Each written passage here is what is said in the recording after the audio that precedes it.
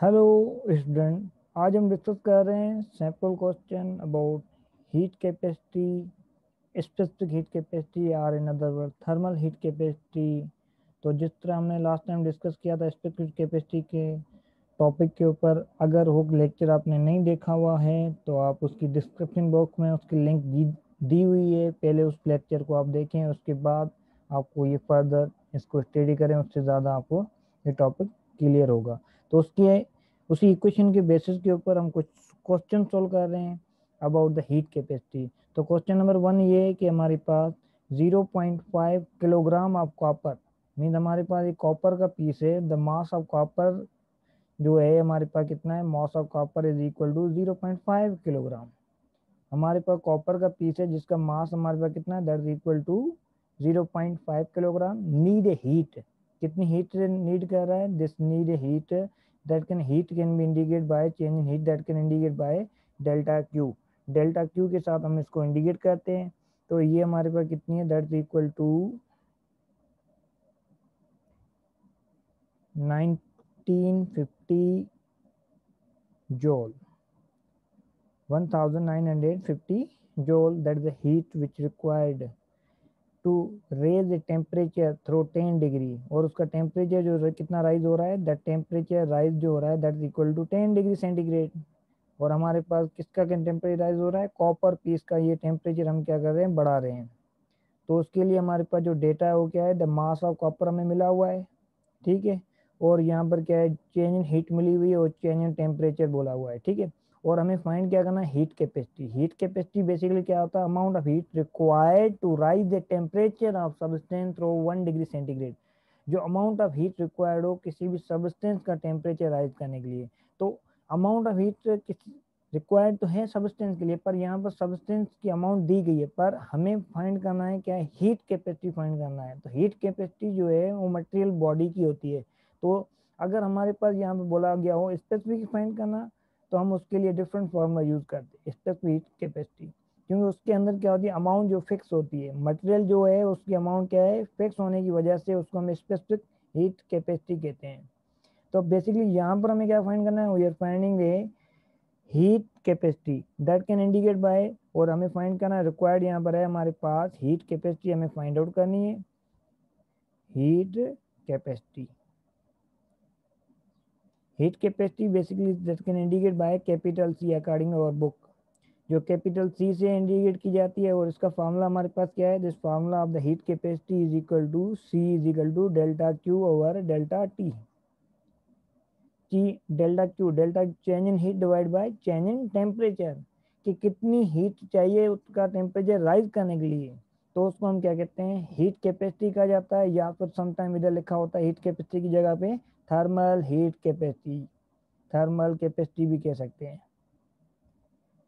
अगर thermal heat capacity हो, फिर भी हम ये यूज़ करेंगे delta Q over delta T तो यहाँ पर अब बेसिकली हीट कैपेसिटी के अंदर हम मास को इन्वॉल्व नहीं करेंगे, ठीक है? तो यहाँ पर जो हीट कैपेसिटी होगी that is equal to delta Q is equal to delta T तो यहाँ पर हीट जो हमें गिवन है that amount of heat is equal to 950 joule जैसे हमने डेटा बनाई, उसके अंदर 950 जोल हमारे पास क्या हीट दी हुई है और चेंज इन टेम्परेचर जो change in temperature rise in temperature that is equal to 10 degree centigrade sometime kelvin में भी ले सकते हैं, पर यहाँ पर जो चेंज आ रही है, वो 10 डिग्री सेंटीग्रेड के बराबर है. तो इसको अगर फर्दर हम कैलकुलेट करें तो हमारे पास ये जब डिवाइड करेंगे तो ज़ीरो ज़ीरो में कैंसिल हो जाएगा. That value is equal to heat capacity की जो वैल्यू होगी कितनी होगी? वन नाइन फाइव जॉल पर सेंटीग्रेड डिग्री सेंटीग्रेड या फिर यहाँ पर डिग्री ऐसे लिख लें, जॉल पर डिग्री सेंटीग्रेड। या फिर हमें पता है कि हमने टेम्परेचर के स्केल में पढ़ा है कि हमारे पास इन टर्म्स ऑफ़ डिवीज़न जो है वन डिग्री सेंटीग्रेड बराबर होता है वन केल्विन तो मीन्स इसमें भी नंबर ऑफ़ डिवीज़न हंड्रेड है केल्विन में भी नंबर ऑफ़ डिवीज़न हंड्रेड है। जो चेंज आएगी तो टेन केल्विन की आएगी। तो फर्दर अगर इस यूनिट को हम इन टर्म्स ऑफ़ केल्विन भी लिखें तो भी हमारे पास ये वैल्यू सही है 195 जोल पर केल्विन तो ये भी हमारे पास क्या है? दैट इज़ ये हीट कैपेसिटी हमारे पास है किसकी? कॉपर पीस की। अगर यहाँ पर हमें बोला गया था, अगर इस क्वेश्चन को मैं थोड़ा सा रीअरेंज कर दूँ तो हमारे पास ये क्वेश्चन इस तरह हो जाएगा। हीट कैपेसिटी की जगह पे मैं बोलता हूँ फाइंड है सेकंड पार्ट है, ठीक है? ये हमारे पे एक पार्ट कर दिया, दूसरा पार्ट हम सपोज़ करते हैं कि हमें फाइंड करना है स्पेसिफिक कैपेसिटी क्या है? स्पेसिफिक हीट कैपेसिटी इसके लिए अमाउंट जो होती है फिक्स होती है। जो अमाउंट फिक्स होने की वजह से उसकी जो हीट कैपेसिटी कितनी होगी? तो उसके लिए हमें फार्मूला क्या यूज़ करना पड़ेगा? उसके लिए हमें फार्मूला पड़ा है और ये जो हीट कैपेसिटी है that can indicate by small C specific capacity जो इंडिकेट की जाती है स्मॉल सी के साथ की जाती है। और स्मॉल सी का जो फार्मूला होगा this formula can written as ये जो फार्मूला हम कैसे लिखेंगे? ये फार्मूला लिखेंगे सी इज़ इक्वल टू यहाँ पर क्या होता है? Delta Q over M delta T. ये फार्मूला है तो यहाँ पर हमारे पास डेल्टा क्यू और डेल्टा टी की वैल्यू आ गई, और इसके साथ हम मल्टीप्लाई करेंगे किसको, और डिवाइड करेंगे किसको मास को। तो हमारे पास क्या है, इसको सिंपल ऐसे लिख सकता है one ninety nine one hundred one thousand nine hundred fifty divide by mass कितना हमारे पास ज़ीरो पॉइंट फाइव है, और मल्टीप्लाई करेंगे कितना टेन जो हमारे पास चेंज इन टेम्परेचर है। टेन ज़ीरो ज़ीरो में कैंसिल हो जाएगा फर्दर हम क्या करेंगे नाइन हंड्रेड फिफ्टी को डिवाइड करेंगे किसके साथ nine hundred fifty divide by zero point five. तो मीन सिंपली हमारे पास ये वैल्यू क्या हो जाएगी? That is equal to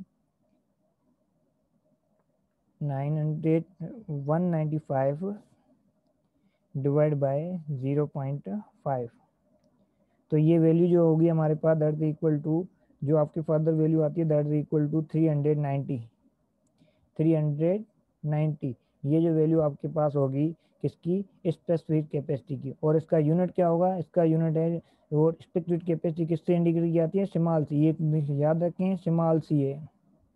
सिमाल सी के साथ, ठीक है? तो सिमाल सी का जो स्पेसिफिक कैपेसिटी का जो वैल्यू होगी that is equal nine hundred three hundred ninety into अब इसका जो यूनिट होगा, क्या होगा? जॉल पर किलोग्राम पर टेन केल्विन या पर सेंटीग्रेड या फिर किलोग्राम पर केल्विन भी कह सकते हैं, या फिर क्या है, पर सेंटीग्रेड।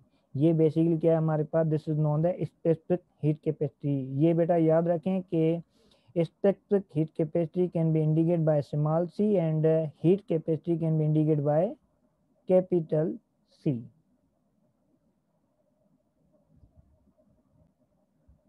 further हम डिस्कस कर रहे हैं सैंपल क्वेश्चन टू इस क्वेश्चन में हमें बोला गया है कि when the three kilogram water, अगर हमारे पास कितनी है क्वांटिटी ऑफ़ वाटर जो है सपोज़ करें डेटा हम बनाएँ तो डेटा के अंदर जो हमारे पास quantity of water that is a fix quantity of water हमारे पास कितनी है? थ्री मास ऑफ़ वाटर या कह लें कि क्वांटिटी ऑफ़ वाटर को सिंपली हम मास ऑफ़ वाटर कहते हैं that is equal to three three kilogram water cooled उसको ठंडा किया जा रहा है मीन टेम्परेचर क्या हो रहा है? कम किया जा रहा है। कम करने की वजह से मीन इसका इनिशियल जो टेम्परेचर था, दर्द इनिशियल टेम्परेचर हम कह लें कि दर्द equal to 80 degree centigrade initial temperature हमारे पास क्या है? 80 है। तो फर्दर हमारे पास जो फाइनल टेम्परेचर जब इसको ठंडा कर दिया तो इसका फाइनल टेम्परेचर दर्द इक्वल टू 10 डिग्री सेंटीग्रेड तो मीन ये क्या हो रहा है? हमारे पास फॉल कर रहा है टेम्परेचर 80 डिग्री से 10 डिग्री की तरफ़ फॉल कर रहा है। और यहाँ पर हमारे पास क्या है? वाटर यूज़ किया है। तो वाटर की जो स्पेसिफिक हीट कैपेसिटी है दैट इक्वल टू वो हमारे पास कितनी है? That equal to four hundred four thousand two hundred joule per kilogram पर केल्विन आर पर सेंटीग्रेड क्योंकि हमने सेंटीग्रेड में वैल्यू लिया तो हम यहाँ पर सेंटीग्रेड ही लिखते हैं डिग्री सेंटीग्रेड तो ये हमारे पास क्या आ गई इस क्वेश्चन की? डेटा और यहाँ पर फर्दर हमें रिक्वायर्ड क्या है? रिक्वायर्ड हमारे पास है फाइंड क्या करना है? हाउ मच हीट लॉस यहाँ पर क्या हीट जो लॉस कर रहा है मटेरियल क्योंकि टेम्परेचर फॉल कर रहा है। अगर टेम्परेचर फॉल कर रहा मतलब क्या है? हीट क्या हो रही है? लॉस हो रही है।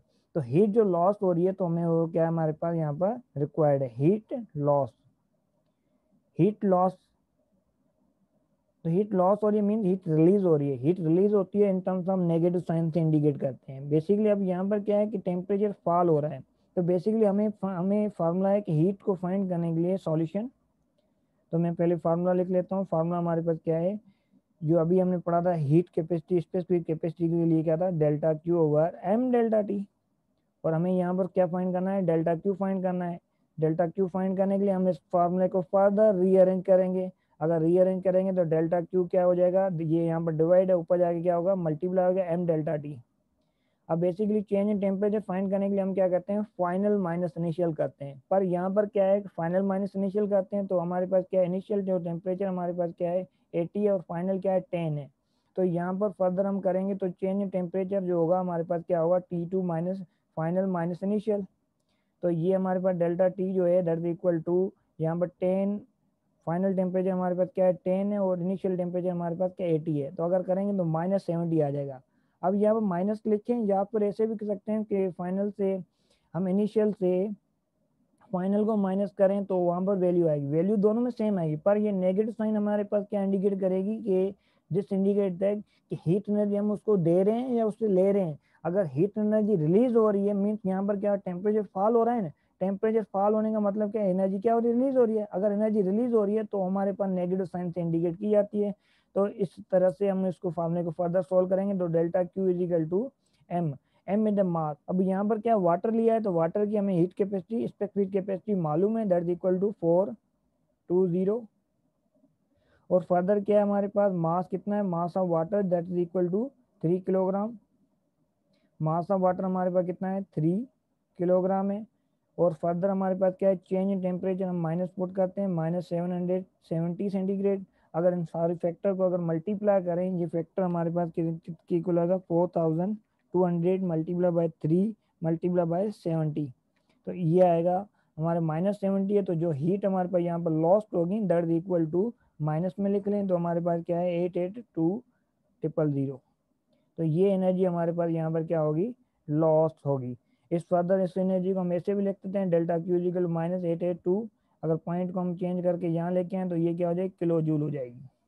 तो जो हीट लॉस हुई, जो रिलीज़ हो रही है, उनको in terms of negative sign दे के हम रिलीज़ कर सकते हैं। अगर फर्दर अगर यहाँ पर इन टर्म्स ऑफ़ सेंटेंस लिखा जाएगा तो यहाँ पर हमारे पास क्या है? क्वेश्चन के अंदर बोला गया है how much heat energy loss तो हम यहाँ पर लिखेंगे हीट एनर्जी लॉस जो होगी हीट एनर्जी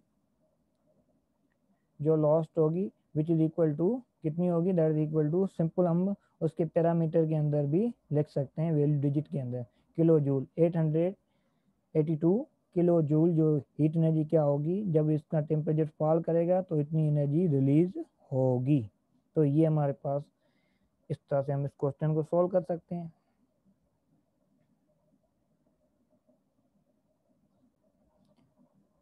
जी, आप डिस्कस कर रहे हैं सिंपल क्वेश्चन थ्री के ऊपर। इस क्वेश्चन में बताइए how much heat need to raise अब यहाँ पर क्या है इससे पहले हमारे क्वेश्चन के अंदर क्या हो रहा है टेम्परेचर फॉल कर रहा था। अब यहाँ पर टेम्परेचर क्या हो रहा है रेज हो रहा है बढ़ रहा है। हमारे पास जो अमाउंट जो है वो कितनी है? दैट इक्वल टू हम डेटा अगर बनाए तो हमारे पास जो मास ऑफ़ वाटर है या यहाँ पर वहाँ पर हमारे वाट, वाटर की क्वांटिटी थी पर इस क्वेश्चन के अंदर हमारे पास क्या अल्मोनियम का मटेरियल दिया गया है। अल्मोनियम का मटेरियल दिया गया है और उसका जो मास है that equal to zero point three kilogram of water की जो हीट कैपेसिटी स्पेसिफिक कैपेसिटी बहुत ज़्यादा है और जो हमारे पास अल्मोनियम की कम है। कम टेम्परेचर के ऊपर ये ज़्यादा, कम हीट के ऊपर ज़्यादा टेम्परेचर राइज कर सकता है। तो यहाँ पर जो इनिशियल टेम्परेचर जो है, हमारे पास क्या है? That initial temperature is equal to thirty degree centigrade and final temperature of the aluminium is a one fifty degree centigrade तो यहाँ पर टेम्परेचर बेसिकली क्या हो रहा है? इंक्रीज हो रहा है। अगर टेम्परेचर इंक्रीज हो रहा है तो यहाँ पर मटेरियल हमारे पास अल्मोनियम है तो इसके टेबल जो आपके बुक के अंदर दिया गया है, वहाँ से आपकी इसकी वैल्यू देखनी है specs heat capacity aluminium is equal to nine hundred nine hundred और इसका जो यूनिट होगा जूल पर किलोग्राम पर केल्विन और पर सेंटीग्रेड जो आप यूज़ करें ठीक है? क्योंकि दोनों की जो वेरिएशन जो चेंज आएगी, वो सेम ही होती है, ठीक है? और रिक्वायर्ड हमारे पास क्या है? यहाँ पर हमें हीट डेल्टा क्यू ही कैलकुलेट करना है इससे पहले हमने जो फार्मूला यूज़ किया, उस फार्मूला यूज़ किया पर इसमें हीट हम ऐड कर रहे हैं। ऐड करने वाली जो हीट होती है, उसको पॉजिटिव सेंस के अंदर लेते हैं।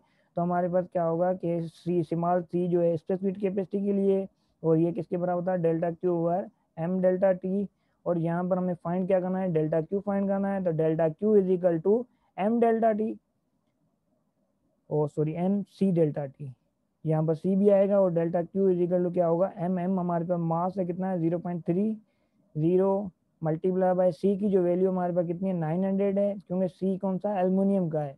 एल्युमिनियम की जो हीट कैपेसिटी है, that is equal to nine hundred. ये वैल्यू कॉन्स्टेंट है जो आपके बुक के अंदर, टेबल के अंदर मेंशन है। और उसके बाद चेंज इन टेम्परेचर जो है हमारे पास क्या होता है? T, final minus initial. तो यहाँ पर क्या हो गया? फाइनल माइनस इनिशियल हो गया। फर्दर अगर देखें तो डेल्टा क्यू जो होगी हमारे पास किसके बराबर होगी? तो टेम्परेचर में यहाँ पर फर्दर रियर है। 900 और टेम्परेचर जो होगा that equal to 150 minus thirty तो 150 हमारे पास क्या है? फाइनल टेम्परेचर है और थर्टी डिग्री क्या है? हमारे पास इनिशियल टेम्परेचर है। अगर इन फर्दर इनको मल्टी में यहाँ पर क्या आएगा? 120 आएगा। 120 को 900 के साथ मल्टीप्लाई करें। 900 को 0.3 के साथ थ्री ज़ीरो के साथ मल्टीप्लाई करें तो आपका जो रिज़ल्ट होगा बेसिकली हमें वो मिल जाएगा। अगर इन पैरामीटर को मल्टीप्लाई करके देखें तो हमारे पास क्या है? Zero point three multiply by nine hundred multiply by one twenty अगर इन उनको मल्टीप्लाई किया तो हमारे पास कितना आई value thirty two thousand four hundred जो डेल्टा क्यू जो हीट एब्जॉर्व करवा रहे हैं, इस मटेरियल के अंदर टेम्परेचर राइज करने से थर्टी से वन फिफ्टी डिग्री सेंटीग्रेड की तरफ़ तो हमारे पास कितनी इतनी एनर्जी चाहिए? Three two four zero zero तो अब यहाँ पर हम हीट पॉइंट कर रहे हैं तो इसका जो यूनिट होगा दैट इज़ इक्वल टू जोल जो हमारे पास यूनिट होगा, हमारे पास क्या होगा? दैट इज़ इक्वल टू जोल तो हमने हीट जो यहाँ पर हमें मिली हो किसके फॉर्म में मिली है? Three thirty two thousand four hundred joule अब यहाँ पर सिंपली हीट क्या आई है? पॉजिटिव आई है. पॉजिटिव मतलब हीट को हमने एब्जॉर्व करवाई है. यहाँ पर टेम्परेचर क्या हो रहा था? रेज हो रहा है. वहाँ पर टेम्परेचर क्या हो रहा था? हमारे पास फॉल कर रहा था. तभी कंडीशन हमारे वहाँ पर नेगेटिव साइन इस वजह से क्योंकि वहाँ पर एनर्जी रिलीज़ हो रही थी उस सिस्टम से। और यहाँ पर हम उस मटेरियल को एब्जॉर्ब करवा रहे हैं उसका टेम्परेचर बढ़ाने के लिए। ठीक है? तो ये हमारे पास क्वेश्चन सिंपल क्वेश्चन था थ्री अगर आपको इसके हिट कैपेसिटी के टॉपिक के बाद फर्दर स्टडी करना है तो इससे पहले मैंने लेक्चर रिकॉर्ड किया है जो है हीट कैपेसिटी और specific capacity molar heat capacity सारे पैरामीटर मैंने डिस्कस किए। उसकी जो लिंक आपको डिस्क्रिप्शन बॉक्स में दी गई होगी, वहाँ से आप देख के उसको फर्दर स्टडी कर सकते हैं।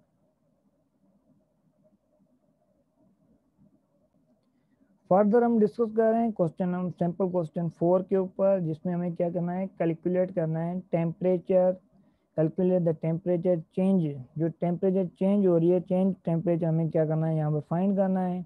और यहाँ पर जो क्वेश्चन के अंदर हमें दिया गया क्या है कि टेन किलोग्राम ऑफ़ वाटर हमारे पास जो वाटर की फ़र्स्ट पार्ट को हम पहले सॉल्व कर रहे हैं। हमारे पास ये बोला गया है टेन किलोग्राम वाटर है तो मीन मास ऑफ़ वाटर जो है, हमारे पास कितना है? Mass of water is equal to ten kilogram और that water loss the heat energy mean energy कितनी लॉस कर रहा है? Delta Q is equal to three two three two kilo joule kilo joule है किलो का मतलब क्या है? सिंपली टेन पावर थ्री लिख सकते हैं तो ये क्या आएगा? जोल के अंदर कन्वर्ट हो जाएगी। तो यहाँ पर क्या हो रहा है? हीट लॉस हो रही है। तो आप भी आपने पढ़ा है कि हीट जो लॉस होती है, उसको इन टर्म्स हम नेगेटिव साइन ले लेते हैं। तो यहाँ पर जो हीट हमारे पास लॉस होगी तो हम उसको रिलीज़ हो रही है तो मतलब ये नेगेटिव में भी ले सकते हैं, ठीक है?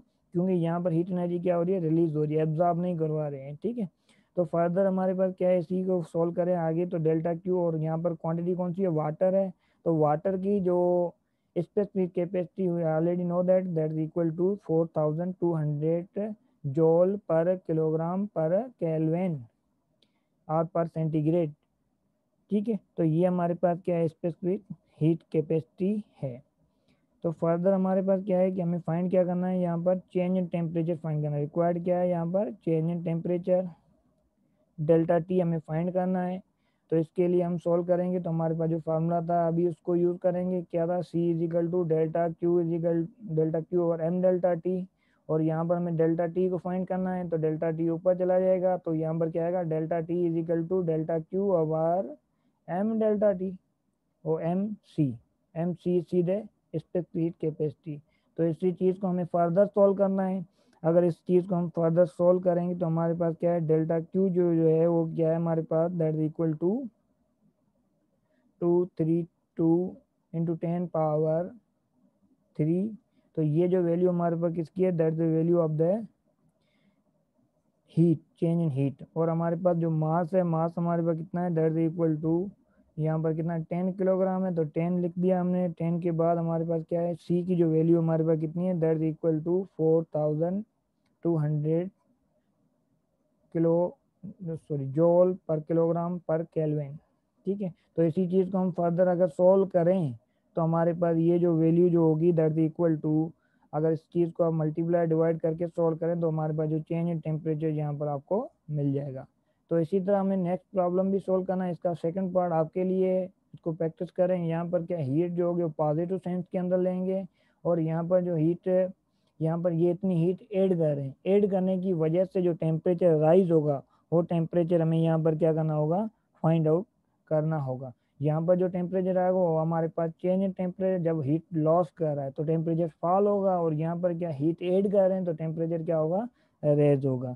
तो दोनों कंडीशन में इक्वेशन आपको यही लगेगी और यही फार्मूला आपको फर्दर इसको यूज़ करना है